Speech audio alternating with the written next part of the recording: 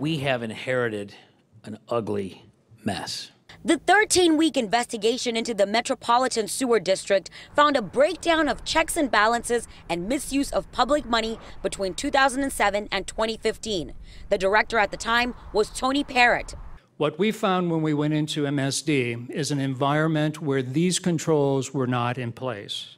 The investigators say in 2007, the former city manager gave MSD the authority to sign contracts on behalf of the city.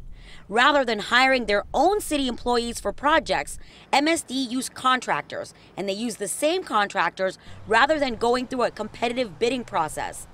Another problem, the Summer Student Internship Academy program was supposed to only have 16 students, costing about 250,000. But the program had 100 students, costing a million dollars of taxpayer money.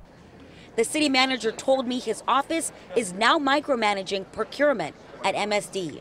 These bad practices were citywide. Uh, it's just that they were at an extreme level at MSD. Uh, we have basically taken something that it was allowed to expand in such a decentralized fashion and we've contracted it back in. And city officials tell us that the report has been sent to the Ohio Attorney General's office, the Hamilton County Prosecutor, and the Ohio Ethics Commission. Reporting live from City Hall, Tammy Mutasa, WLWT News 5.